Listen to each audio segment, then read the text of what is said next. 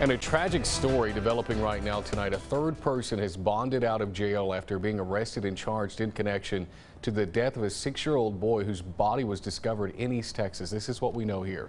Dylan Walker was booked into the Jasper County Jail but has since been released after paying a $125,000 bond.